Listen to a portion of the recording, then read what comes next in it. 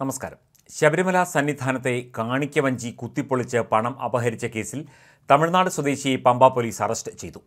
ശബരിമല ദേവസ്വം മഹാകാണിക്കയുടെ മുൻഭാഗത്തുള്ള കാണിക്കവഞ്ചിയുടെ പൂട്ട് കുത്തിപ്പൊളിച്ച് പണം മോഷ്ടിച്ച കേസിലെ പ്രതിയാണ് പമ്പ പോലീസിന്റെ ഊർജിതമായ അന്വേഷണത്തിന് ഒടുവിൽ കുടുങ്ങിയത്.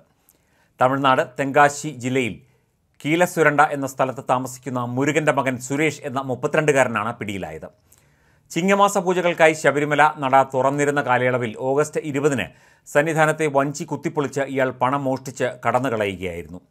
നട അടച്ച ശേഷം സംഭവം ശ്രദ്ധയിൽപ്പെട്ട ദേവസ്വം ബോർഡ് അധികൃതർ പോലീസിൽ പരാതി നൽകി. തുടർന്ന് പോലീസ് പ്രാഥമിക അന്വേഷണം നടത്തുകയും സന്നിധാനത്തെയും പമ്പയിലെയും നിരവധി സി സി ടി വി ദൃശ്യങ്ങൾ പരിശോധിക്കുകയും ചെയ്തിരുന്നു.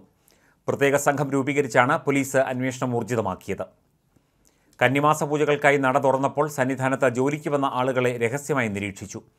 അങ്ങനെയാണ് മോഷ്ടാവിനെ പറ്റിയുള്ള സൂചന ലഭിച്ചത്. വർഷങ്ങളായി എല്ലാ മാസവും ശബരിമലയിൽ വന്നിരുന്ന പ്രതി മോഷണവുമായി ബന്ധപ്പെട്ട് പോലീസ് കേസ് രജിസ്റ്റർ ചെയ്ത വിവരം അറിഞ്ഞതിനെ തുടർന്ന് ഈ മാസം ശബരിമലയിൽ എത്തിയില്ല. എന്നാൽ ഇയാൾക്കായി പോലീസ് അന്വേഷണം വ്യാപിപ്പിച്ചിരുന്നു. ഇയാൾ ഫോൺ ഉപയോഗിക്കാത്തത് പോലീസ് അന്വേഷണത്തെ പ്രതിസന്ധിയിലാക്കിയിരുന്നു. തുടർന്ന് ലഭ്യമായ വിവരങ്ങളുടെ അടിസ്ഥാനത്തിൽ പോലീസ് തിരുനെൽവേലി തെങ്കാശി മധുര എന്നിവിടങ്ങളിലേക്കും അന്വേഷണം വ്യാപിപ്പിച്ചു.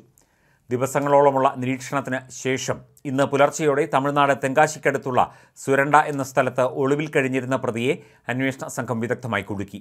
തുടർന്ന് പമ്പ പോലീസ് സ്റ്റേഷനിൽ എത്തിച്ച് വിശദമായി ചോദ്യം ചെയ്യുകയും കുറ്റസമ്മത മൊഴിയുടെ അടിസ്ഥാനത്തിൽ അറസ്റ്റ് രേഖപ്പെടുത്തുകയുമായിരുന്നു. ജില്ലാ പോലീസ് മേധാവി വി ജി വിനോദ് കുമാറിന്റെ നിർദ്ദേശാനുസരണം റാന്നി ഡിവൈഎസ്പി ആർ ജയരാജന്റെ നേതൃത്വത്തിൽ Pamba police inspector K S Vijayan S I K V Saji S C P ഒമാരായ Sooraj R Kurup Girijendran C P ഒമാരായ Anu S Ravi V M Anoop എന്നിവരടങ്ങുന്ന സംഘമാണ് പ്രതിയെ സാഹസികമായി പിടികൂടിയത്. ഇയാളെ സന്നിധാനത്ത് എത്തിച്ച് തെളിവെടുപ്പ് നടപടികൾ പൂർത്തിയാക്കിയ ശേഷം കോടതിയിൽ ഹാജരാക്കി.